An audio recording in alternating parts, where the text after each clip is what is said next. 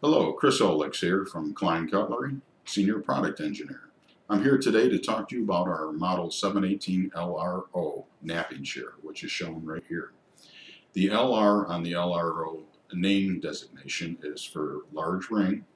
The large ring means you can get four fingers in it. The O is offset for offset handles for ergonomics. So you, your fingers are away from your cutting material and your nap material. The tool has a, a nice long blade for big commercial projects. Uh, so you're doing less work instead of a short blade that you see like on a traditional uh, duckbill type product.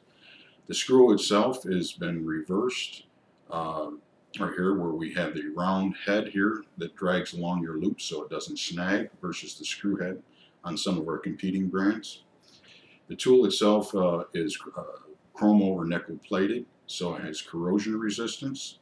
The handles are plastisol coated and the uh, spring uh, pivot is spring loaded so that the edges maintain contact and so you get extra long life.